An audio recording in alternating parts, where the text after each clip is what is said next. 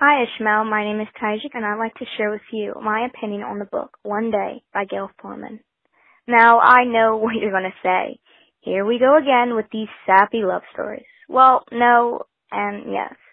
It is a sappy love story, but it's different from the rest. Everyone's grown up on princesses and princesses and, and happily ever after. But one day, it's the complete opposite. And yes, it has a happy ending, but only it involves cheating and lying. And I interpreted this as a wake up call. There's not always going to be the roses and the knight in shining armor outside. Not sometimes. And sometimes life gets in the way. And no, I'm not saying it's a good thing, but I'm not saying it's a completely bad thing. I recently just went through a breakup, and this book helped me a lot.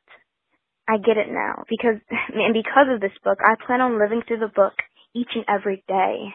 I plan on going back, just living in the moment, not wondering what if all the time.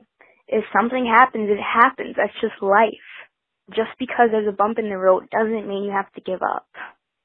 Thank you, Ishmael, and have a wonderful day.